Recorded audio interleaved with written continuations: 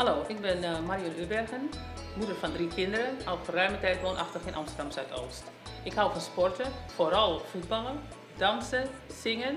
Mijn sterke punten zijn dat ik uh, mensen graag en heel goed op hun gemak kan stellen. Een ander sterk punt van mij is dat ik een doener ben en zet graag mijn schouders onder het werk wat uh, gedaan moet worden. Mijn missie in het leven is mensen stimuleren, mensen bekrachtigen, mensen empoweren en met name de mensen die het nodig hebben. Wat ik wel moeilijk vind, is nee zeggen, mijn eigen grenzen te stellen. Uh, daar bijvoorbeeld te veel hooi nemen op je vork, doordat je tegen iedereen maar zegt, ja hoor, het is goed, ik doe het wel, ik doe het wel, ik doe het wel. Op dit moment ben ik uh, als vrijwilliger verbonden aan de voetbalclub Zuidoost United. Hulpverleningsinstanties als Altra en Spirit, die hebben jongeren hier voetballen.